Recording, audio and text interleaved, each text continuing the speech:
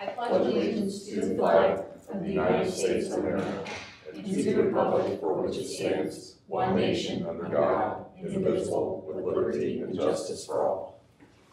Ms. Baldwin, if you call a roll. Ms. Carney? Here. Mr. Rucker? Here. Mr. Terry? Here. Mr. Sims? Here. Mr. Reed? Here. Ms. Ferguson? Here. Mr. Daly. Is there a motion to approve the agenda for tonight's council meeting? Motion to approve agenda for tonight's council meeting? Second. Mr. Terry? Yes. Mr. Yu- Ms. Ferguson? Yes. Mr. Reed? Yes. Mr. Rucker? Yes. Yes. And is there a motion to approve the council meeting minutes from August twenty-second? So moved. Second. Mr. Terry? Yes. Ms. Ferguson? Yes. Mr. Reed? Yes. Mr. Rucker? Yes. Mr. Sims? Yep. Yes. Yep, yep. And is there a motion to approve the work session meeting minutes from September seventh? So moved. Second. Ms., um, Madam Chair, uh, my copy of, unless it's been corrected, has in the very first sentence, a little bit of an anomaly. Um, A motion made by Ms. Ferguson and seconded by Ms. Ferguson. I'm sure that's a typo or kind of an oversight kind of a thing, but that probably should be fixed. And I'm sure they, they can handle that. Didn't even see. Did not see that. Is there any other additions or corrections?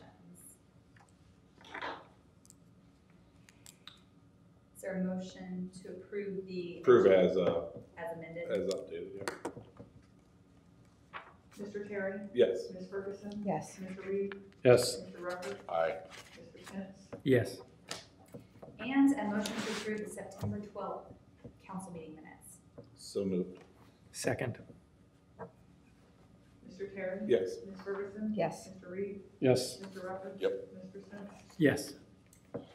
We do not have any visitors on the docket this evening. Um, I'll be brief real quick on my, uh, mayor's report.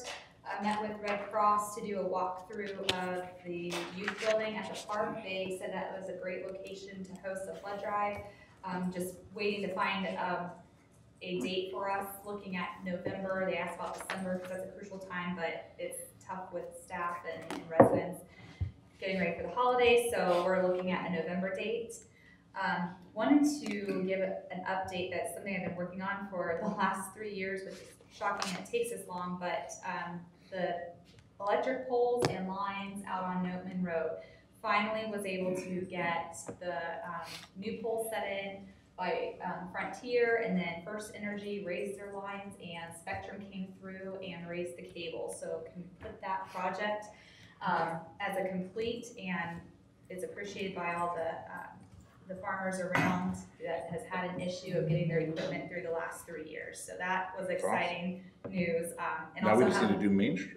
yeah, yeah. So like, well, lifting, lifting the lines is one thing. Yeah, removing that brings another um, point that uh, Mr. Stanford, Ms. Sonnet, Mr. Huff, and myself met with uh, First Energy last week to talk about a plan and a phase plan of what it looks like to remove the lines on Main Street. So um, Mr. Stanford's working on that. We identified kind of a first phase, second phase of that project. So looking at kind of getting an update on that. And then met with the, our representative from the governor's office last week as well. And so that proved to be a good connection um, to hopefully put some of our projects that are needing to get completed at the forefront of, of their list. Um, and then I attended the planning and zoning, which I'll give the update later. Um, last, the week before that, I attended the Union County Safety Coalition meeting um, to listen in as part of Safety Town. And Sergeant Prather attends those meetings for, as our representative, but it's been neat to sit in and listen about ways that we can work with our events and further help their um, their agenda. And Walk to School Day is next Wednesday, October fifth. So I know, Chief, are you gonna be covering any details on that? Of Walk to School Day, or are we gonna put a But yeah, I think Tom, or Lieutenant Jaspers is actually taking care of that. He's taking care of that, okay. So I know that wherever they, um, have people to go out and, and stand to walk children to school, if you want to come out and join in. Last year, I think we had, it- or last time we did it, we had a Last couple year. officers walk with them. What- What's the date on it? Um, Wednesday, October fifth. And that is all I have.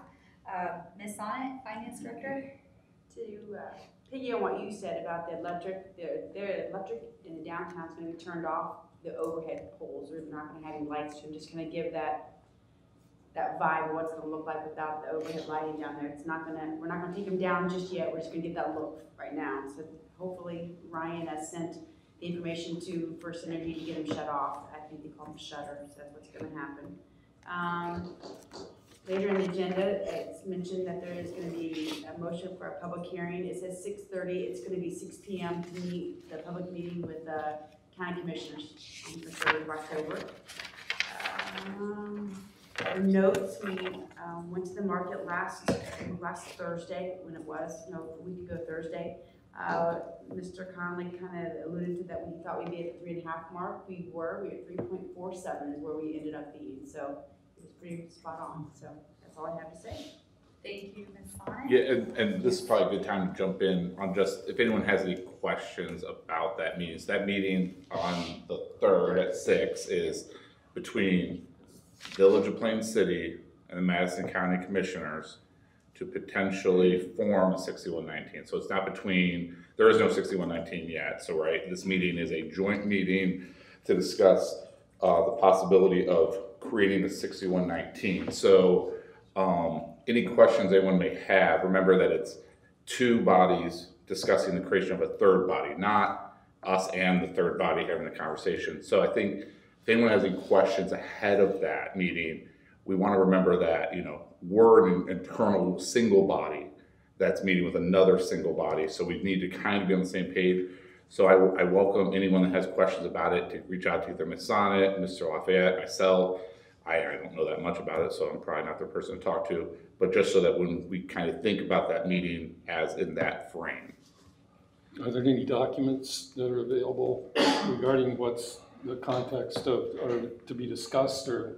There's gonna be an agenda coming out and documents that go with it, yes. Uh, we are not, Mr. Albers, the Yeah. attorney representing the potential district, is the one creating all this. Yeah, so We're kind of like Okay. at their mercy. He's scheduled a public, public meeting. Yeah, so, so, so let me, let me say that a different way and make sure I understand it. There, so there is no sixty-one nineteen yet. Mr. Albers is rep- representing the potential formation on behalf of both the Madison County Commissioners and the Village of Plain City, right?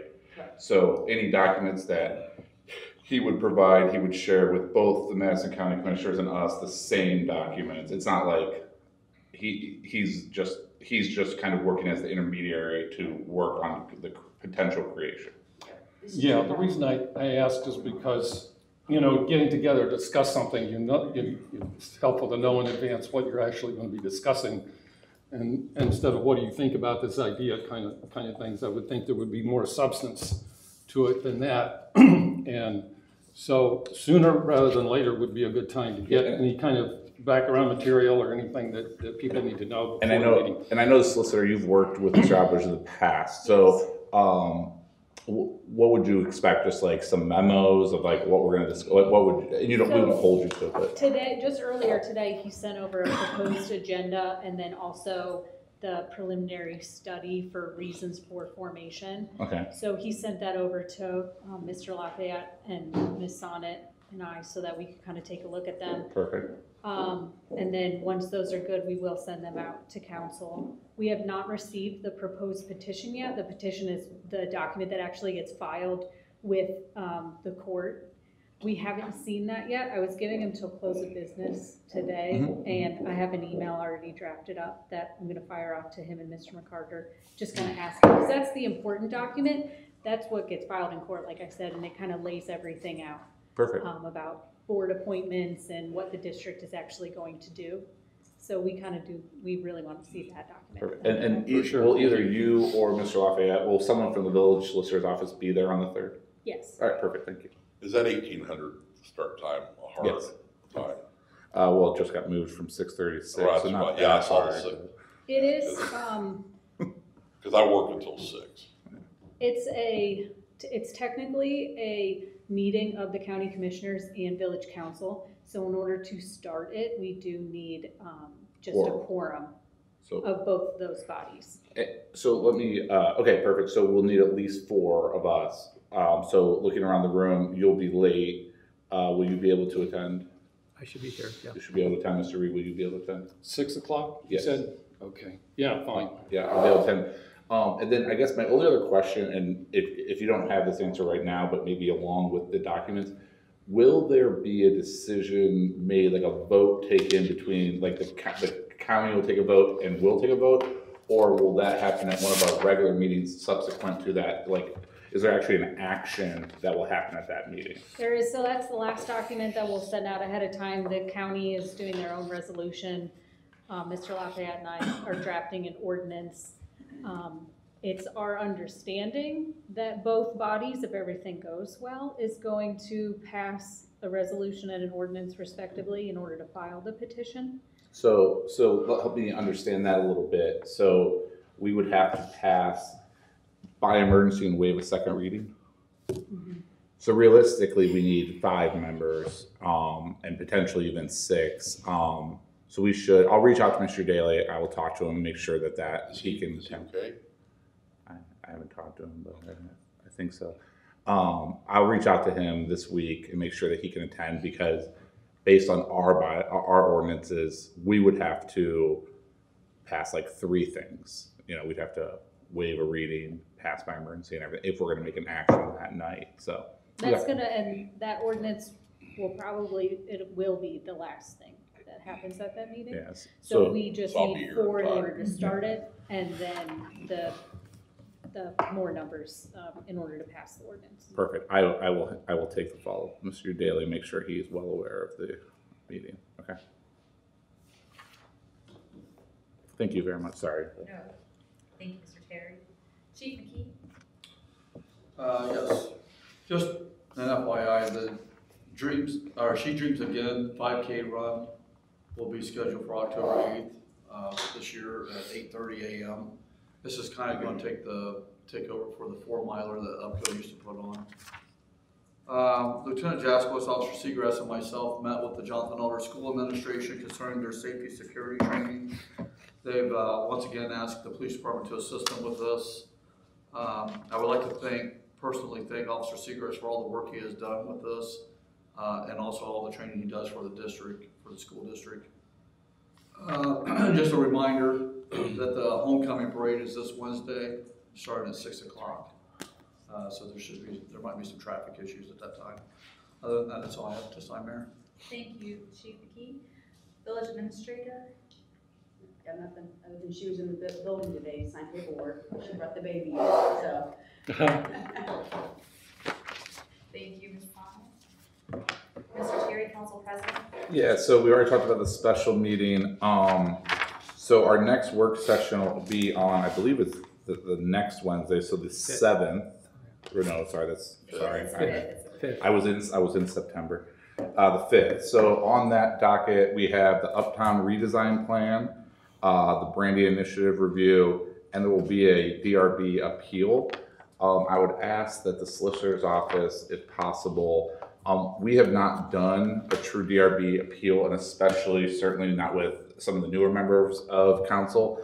Um, and I'll, I'll send a follow-up email to this, uh, but basically, if we could have kind of like the beats on how uh, the appeal should go in the eyes of the solicitor's office. So, um, what is to be reviewed, what isn't. I know there was a debate, um, and I, I'm not going to even try to litigate or understand it all if we're rehearing um, kind of like evidence or we're just hearing the process. So, if we can kind of have that laid out on what uh, it, how it goes and how something would be either upheld or, o- overturned. So if there's a simple majority versus super majority, anything like that, um, just so we know, just because it's new to us, so we kind of can go into that meeting, you know, not be explained it as we're doing it. It'd be nice if we had a little update ahead of time. Um, and like I said, the other two items I have on there are the Uptown redesign, the branding initiative. I'll send a fault to Ms. Burrell, um, to make sure we're on track for those, but I would assume we are, just to finalize, unless you know that we're not on. time. All right, cool. All right, I'll send a follow-up. Yep. Thank you, Mr. Terry, and also on that October fifth, um, I'm, it's the first meeting of the John Mulder, um, Strategic Planning Commission, so I, I'd like to know that process too, because I would like to attend that if it's at all possible, because they use our, um, the knowledge of what the village is doing and with their school plans, so, um, I'll be in contact with you. Yeah, and, and now that I think about it also, you'll probably recuse yourself. I will have to. Yeah, you'll have to recuse yourself being on that committee, so we'll need to make sure we have the right amount of people. Well, I guess it depends on if we're, if we're reviewing it from a procedural standpoint. Yeah. Or if we're reviewing it from an evidentiary standpoint. Another, another, another good reason is to get a kind of Yeah. a, a one pager of here's what it is, here's what we recommend. Mr. Rucker either sits on it or doesn't sit on it, um, depending, on he's obviously our DRB council representative, so, cool. Thank you for that update, um, and then law director? Um, the only thing that I have was gonna be later on in the discussion items on the alley easement. So, um, we did complete the easement language that's needed in order to get this done. I did review the plat, um, to see if maybe we could pull the description from, of the alley from that plat and just kind of insert it into the easement. And we can't, it is deficient, so we do have to go ahead and order a survey. Um, so that is moving along a little bit slower than I know everyone wants to, but it is moving along. Okay. It seemed like such an easy thing to do when it came up, but it's, And then the clock tower easement, that's, I'll just put that on your radar too, to Yes. Mr. Lafayette, okay, thank you. Uh, marketing and communications, Um, we had a meeting this past week and I left all my notes at home. So I'll catch you on the next meeting with an update. But we do have, as Mr. Terry mentioned, there, we are, we'll be reviewing what the marketing study on the fifth, uh, or their, not marketing, the, the rebranding. And I know that Taylor was meeting with them today, so.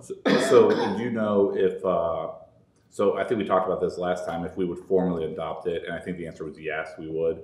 Uh, do you know if at that meeting we'll formally adopt it, or is this like a final, like, here's what it is, and we'll vote on it and adopt it later? Do you, do you have any idea? I have, so as I understood it, as I understand, we will, at our next meeting, our, our next communication meeting, we will decide if we're ready for it to go to council Okay. vote. Do you- When is your meeting? I'm sorry, you said It will be in October, af- after this next meeting. So we had our, so, so it'll be after the work So are you, are- so you're thinking maybe we remove it from the work session, move it to November?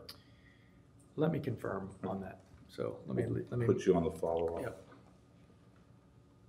And that, I don't know if everyone had a chance, sorry to jump back to mine. I sent out kind of an updated hat, like discussion topics list and just kind of highlighted the newer items. And I'm sure we'll move stuff around, but I tried to add some stuff that we had talked about, um, cause we'll already have to start planning for next year, so.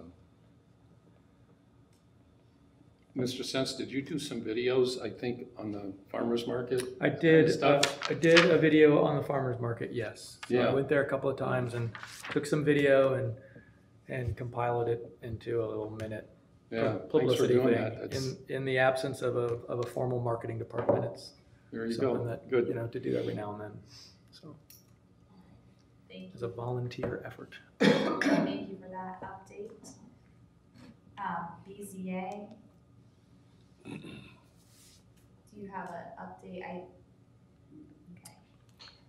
And then planning and zoning met last Wednesday with our, um, public hearing for the zoning code rewrite.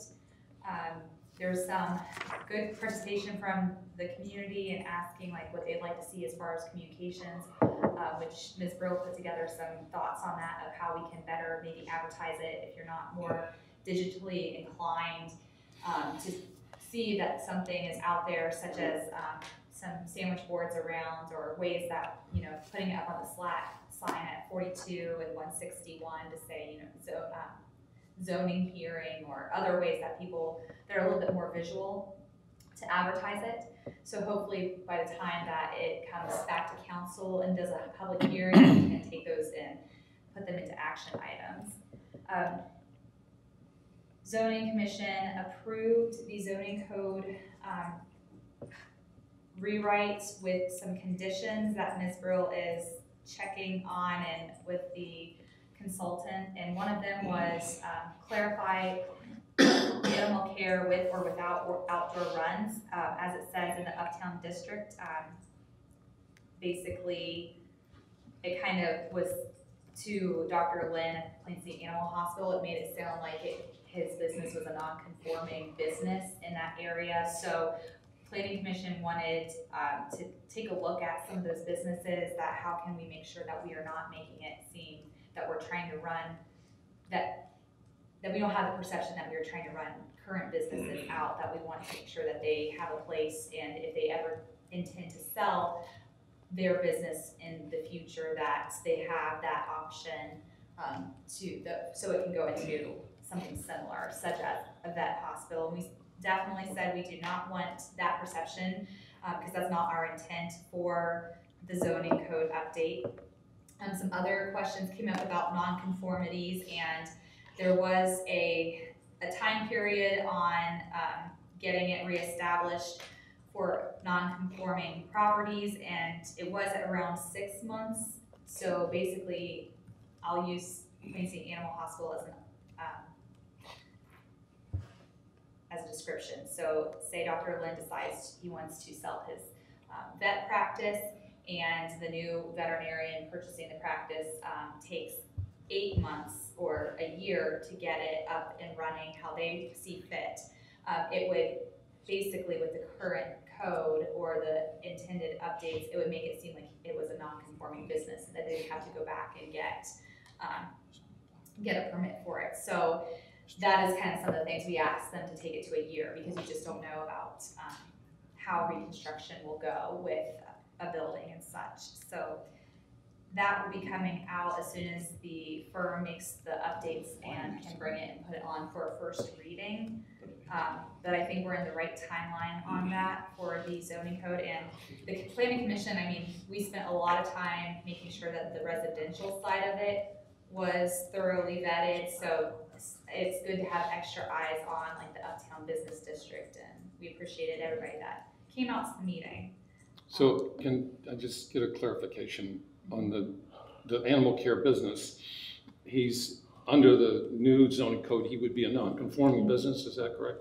how it, it read in the for, like previously, but we had it, um, changed where it is a permitted use. Okay, Mhm. so there basically is no problem once you Right, get going this, this forward. thing, right? good. Yes, All right, thank yes, you. by the time it comes to council, so, um, that is all I have for planning and zoning. Do you, Mhm. I know we're talking about this later, the public hearing comments, is, are you tackling all of this right now, or do you need to actually? Yeah, basically, that's the, that's, that's the, um, what I'm tackling now, Perfect, so I saw Ms. Brill had sent out a updated timeline. Um, I don't know if anyone, if you wanna talk to that at all. Oh, yes, um. So, okay, um, so they're hoping that on October tenth, that we can set the public hearing date, um, which would be held about November fourteenth, um, and you can do the first reading and then a second reading on November twenty-eighth. Um, so then that would be able to come in if there's a, you know, a thirty-day referendum period. Um, so that we basically can have it approved by the end of December and so implement it in January is, our timeline. Perfect, so the, the, we'll schedule the public hearing on October tenth, have it November fourteenth. Mhm. That'll also be the first reading, second reading, thirty day tail, done by January. Cool. And planning commission felt that it was important to, basically, there were some minor changes to, you know, and to let the consultant keep looking at and working on to get it to council, so that way it can go through that second vetting process of a, another public hearing. So that's where we'd like to see maybe like a slat sign or, um, some sandwich boards that talks about zoning code, public hearing Perfect. for that November fourteenth. Yeah, that's a good. idea. Any other questions on that while I'm on the topic? Thank you, Mr. Terry, for having to go through that, that right now. Parks and Recreation Committee, Thank you, Mayor. Um, Since the last um, council meeting, we've had two music in the parks. The, the oldest one was the Plain City Community Singers, which really turned out to be way more of a nice event than I thought it was going to be. Uh, The singers had worked hard to get their act together, and they did a nice job uh, at the park. It also was the largest crowd we've ever, ever had for a music in the park in the 10 years I've been doing it. Uh, Partly due to the fact that there's a lot of family members and aunts and uncles and grandchildren and whatever that come to these, but it was a really appreciative crowd. Um, And I'm, I probably shouldn't say this, but we did christen them the pride of Plain City, the Plain City community um, singers. So that was a really fun day uh, for everyone. The second event was the Barbershop Quartet, which was yesterday. Rain threatened the weather and depressed the attendance somewhat.